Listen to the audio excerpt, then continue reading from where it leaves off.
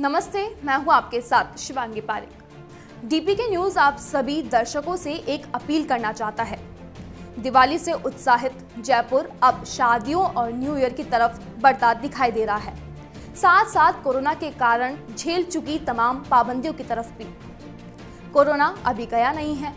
मत भूलिए कि जब तक दवाई नहीं, तब तक ढिलाई नहीं। वैक्सीन अभी आया नहीं है। ऐसा नहीं हो कि हम वैक्सीन की तरफ़ चले जाएँ। यूरोपियन देशों में कोरोना ने दोबारा लॉकडाउन करवा दिया है। भारत में ही अहमदाबाद में रात 9 बजे से सुबह 6 बजे तक कर्फ्यू लगा दिया गया है। राजस्थान में भी रात 8 बजे से सुबह 6 बजे तक कर्फ्यू लगा दिया गया है। कई राज्यों ने मास्क न पहनने पर 2000 तक के चालान कर दिए हैं। हम बंदिशों और सख्तियों के पक्ष में नहीं है, मगर सच ये है कि कोरोना को नजरअंदाज किया जा रहा है। जागरूकता कमज़ोर पड़ती दिखाई दे रही है। सख्ती होनी भी चाहिए। इसलिए कृपया मास्क ज़रूर से पहने। यदि ज़रूरी ना हो तो बाहर ना ही निकले।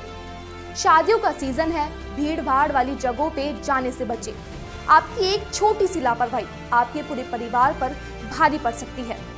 इसको पाबंदी न समझे। ये सब आपके लिए है, इसलिए नियमों की पालना अवश्य करें।